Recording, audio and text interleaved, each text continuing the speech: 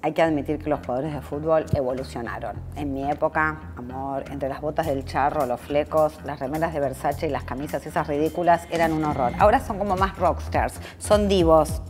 Usan las mejores marcas, van divinos. Algunos exageran ya demasiado, pero me encantan. Igual me cuesta, porque siempre, siempre me pasa que a cada lugar que voy o cada nota que me opongo, porque yo siempre digo cualquier cosa, ¿quién te gusta? ¿Quién le das? Podrían ser mis hijos. Es muy claro lo que me está pasando, porque la edad que tengo, yo que estuve casada con un jugador de fútbol, ahora me pasa que cuando los veo, no los puedo ver si son lindos facheros, porque me da esa cosa de decir, señora, tiene cincuenta y pico de años, el tipo tiene 20, cierre la boca y mire los jugar al fútbol.